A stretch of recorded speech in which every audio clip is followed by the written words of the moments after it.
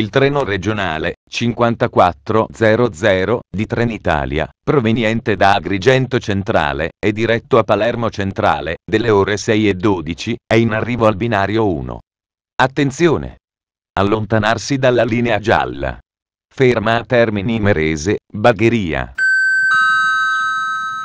Il treno regionale 5434 di Trenitalia, proveniente da Palermo Centrale e diretto a Agrigento Centrale, delle ore 8 e 19, è in arrivo al binario 1. Attenzione! Allontanarsi dalla linea gialla. Ferma in tutte le stazioni eccetto Montemaggiore del Sito.